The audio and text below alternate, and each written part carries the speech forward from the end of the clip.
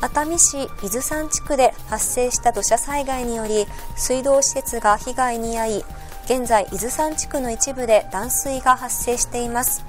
そこで飲料水にも生活用水にも貴重な水の節約に有効なのがペットボトルで作る簡易蛇口です。まずペットボトルの下の方に直径2ミリから3ミリほどの穴を開けます。穴を押さえながらペットボトルに水を入れキャップを閉めて蓋をします。使うときはキャップを緩めます。キャップを閉めると穴から適量の水が出てきますので手が洗えます。使い終わったらキャップを閉めれば水は止まります。まさに水道の蛇口と同じ働きをペットボトル本体とキャップが務めてくれるのです。